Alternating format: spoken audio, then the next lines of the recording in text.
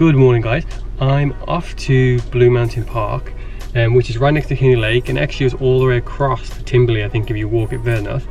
Um, and I gotta say that um, I'm really nervous.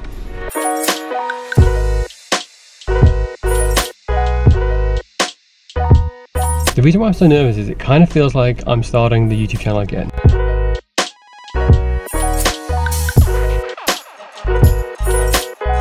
Actually a really cool plan of how I was going to go into the park, but they closed that access off so you can park on a different street. So it didn't quite work out, but uh, we're here now. So I've actually only been here once with Gina actually, so I'm not 100% sure I actually know where I'm going.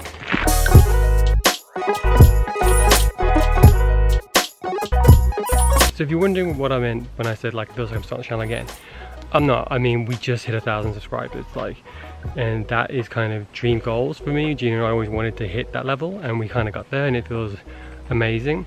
But it just feels like in terms of creativity, we kind of plateaued a while ago. And um, I don't know, I mean, we always wanted to go out and make videos about local businesses and not be about us, which has been really cool, and we've met some amazing people. But um, with COVID happening, I kind of challenged both creatively and ethically, I guess.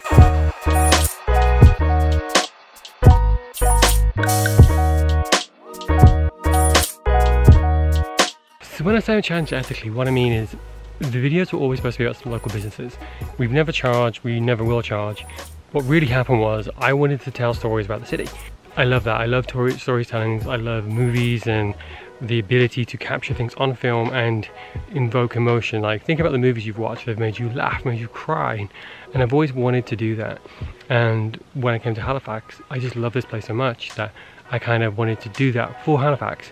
And it was focusing on events, local businesses, and places like this, which on either side of the park is completely overgrown. Beautiful, but kind of hard to navigate. Now COVID's come, a lot of the events are gone. And you know, I'm looking at some local businesses like Jaegers last week were amazing. They were super accommodating. Their products are amazing and getting in there and being able to film, which is the first business we've been able to film since probably March, um, was so much fun. I loved it.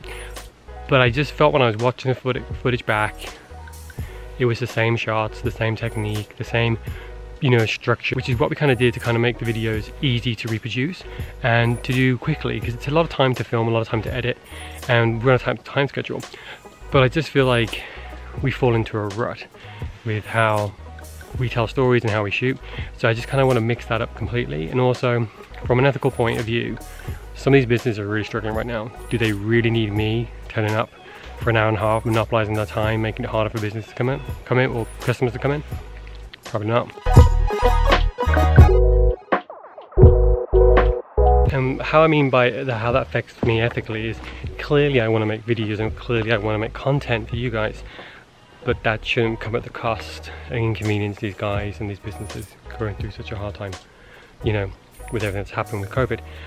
So it feels like I'm gonna have to get really creative which is a good thing and it's a challenge that I'm excited for because like I say I love telling stories and I want to challenge myself creatively.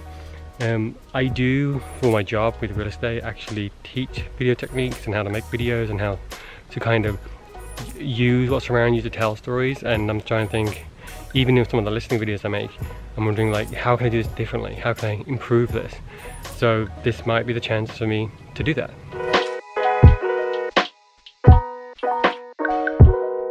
So I'm still going to make videos about businesses. I'm still making videos about local events. Um, I'm still gonna make videos mainly about Halifax because I love it so much. But I think in terms of a starting to make content that I'm kind of proud of and make content that I am, am experimenting with, I might start making stuff that's more technically shot, more, you know, more kind of pure creative and I think I've got into a habit when I started this channel early on that I wanted just wanted views and subs. That was my, kind of my goal. In the last couple of weeks I've started realizing that that stuff really doesn't matter. I know that we're told it does. I know for a lot of people if it's their business it does. But it's really my passion. I want to start making stuff that I love and some of it's probably weird. Some of it's probably not even going to work out but I'd just rather be in a position where it's like, okay, I put my heart and soul into this and maybe learn some more stuff and maybe make better content for you guys than just kind of put out con canned content that I've been doing for like five years and I've kind of got down pat.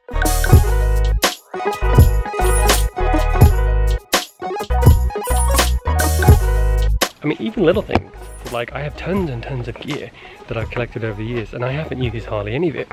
Um, like the shots I have me going down the highway, um, and me doing the door shot I just did.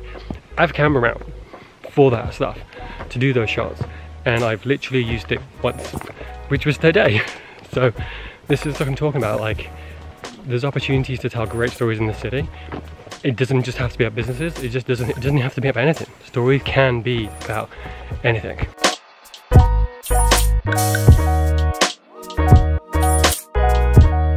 Park is incredibly beautiful. It's raw and kind of you're surrounded by nature and it almost feels like it's not a not, a park or a trail you should be walking. But there are trails cut through, they're just full of rocks. If you do have mobility issues, it might not be the side for you. The other side's much easier to get into, but obviously it was closed, so we couldn't go there. Um, but they're both still amazing, just different, which is kind of like what's happening with the vlog. I kind of have relied on the fact that the city is amazing and I've allowed it to use the businesses and the events to make good content. But now it's getting harder to enter businesses and the events aren't happening.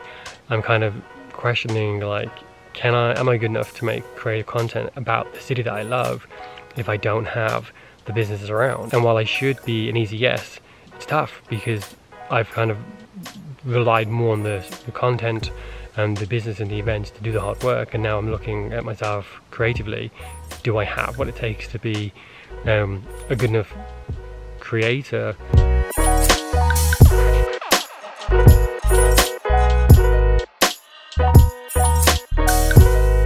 So thank you for watching this week's video. I know it's different, completely different to what we normally do, um, but I just feel like we've shot a lot of parks and I don't want you guys to get bored. And also, I kind of do want to start challenging myself more creatively. So the videos are probably going to have a little bit of a different style and sometimes I'm going to challenge myself. Sometimes I'm just going to do a straight business video and sometimes I'm to do an event when they open back up. I mean, the truth is I still love Halifax. I still want to make this content purely about Halifax um, but maybe it's been more like this where I'm kind of exploring something and you're doing it with me rather than me kind of dictating it to you. I just kind of want to have more interaction with you guys and just create content that really, really appeals to me and hopefully appeals to you guys. So if there's any way you think we should make a video or if there's anything you think we should shoot, please let me know in the comments below. Don't forget to like, comment and subscribe to our YouTube channel. Thank you for watching and we'll see you next week.